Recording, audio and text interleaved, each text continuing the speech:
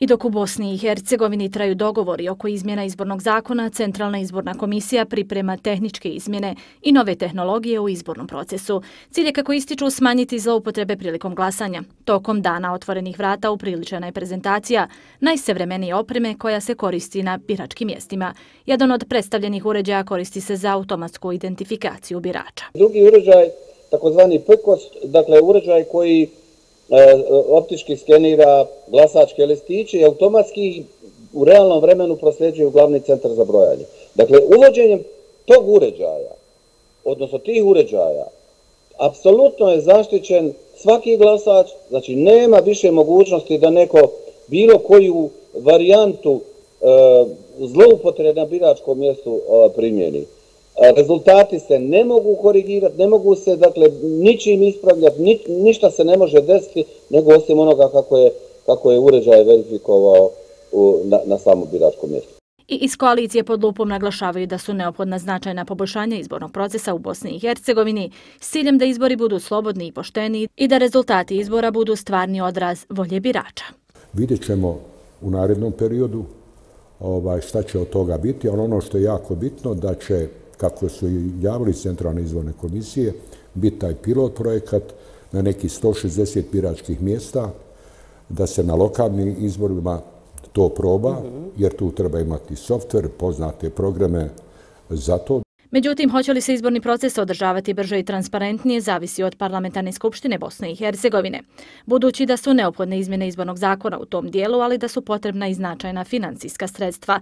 Safet Kešo, zastupnik stranke demokratske akcije u državnom parlamentu, podržava uvođenje novih tehnologija u izborni proces. Mi smo vidjeli kako se zapravo na prvom uređaju izvrši e, kontrola identiteta date ličnu kartu i uređaj nedvosmisleno potvrdi da li ste na biračkom spisku, da li imate pravo glasati, da li ste slučajno već negdje glasali, ako jeste, pojave se neki alarmni zvukovi i tako dalje, to upućuje na činjenicu da ste pokušali zloupotrijebiti svoje biračko pravo.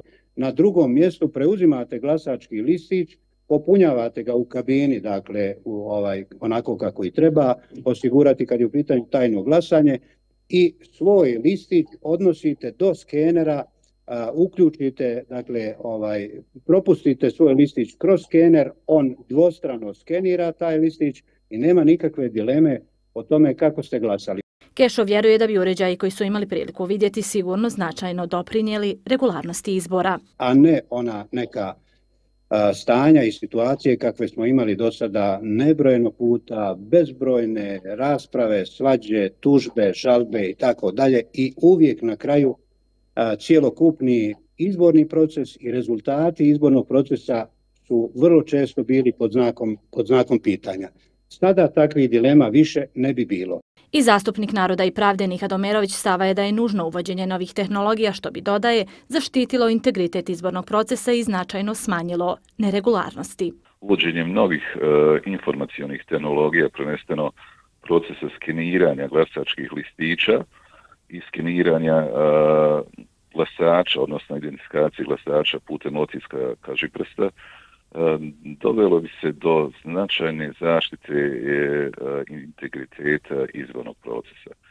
I bilo bi što prije korisno, nužno da se evo sa prvim izbornom ciklusom, odnosno već na narednim izborima, ukoliko naravno se prođe odnos, e, određene zakonodavne procedure, da dođe i do primjene u samoj praksi ovaj, ovih novih informacijonih tehnologija. Građane Tuzle pitali smo podržavaju li uvođenje novih tehnologija u izborni proces. Mislim da bi bilo pravednije, sigurnije. Ja mislim da svijet više ne vjeruje ovom. Trebalo bi elektronsko glasanje, znači da ne moramo čekati po 20 dana da znamo izborni rezultat. U svakom slučaju bilo bi bolje za, i za nas, sve građana i za, za sve ostalo. Centralna izborna komisija je spremna, na potezu su državni parlamentarci.